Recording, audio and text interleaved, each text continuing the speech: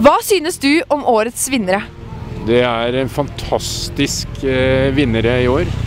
Eh, Malala har jeg selv hatt sjansen til å treffe og være sammen med og lytte til og bli inspirert av.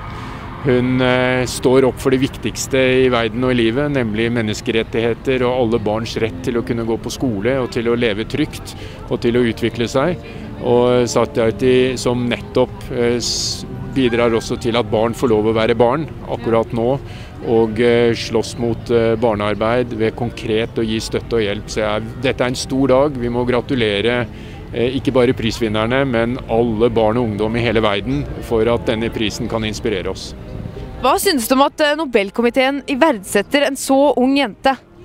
Det er helt riktig. Hun er en veldig verdig vinner.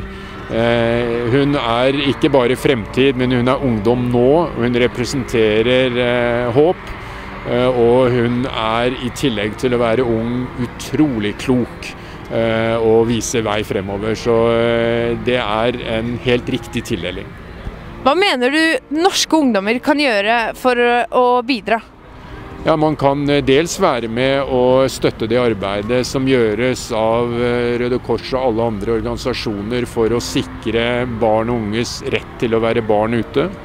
Men man kan også nettopp stå opp for, eh, som Satyati har sagt, pass nå på, å ikke kjøp varer som er laget av barn. Så man kan være med og si at vi vil ikke støtte barnearbeid. Vi vil kort og godt være bevisst på at barn må få lov å være barn og gå på skole. eh, Så man kan eh, rett konkret også eh, hjemme ta standpunkt. Mener du at årets vinnere er symboler for deres arbeid? Ja. Det er eh, veldig håpefullt. De er eh, inspirerende. De, er, de viser vei. eh, og de viser at det nytter. Og I tillegg er jo Malala fantastisk modig. Tenk eh, å velge å stå opp etter det hun har vært utsatt for.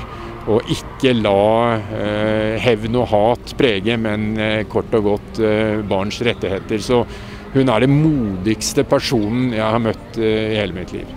Tusen takk.